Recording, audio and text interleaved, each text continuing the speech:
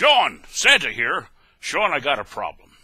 I think I'm also about to lose my job. And the reason is Obama. He's got so many giveaway programs going, I think he thinks he's Santa Claus.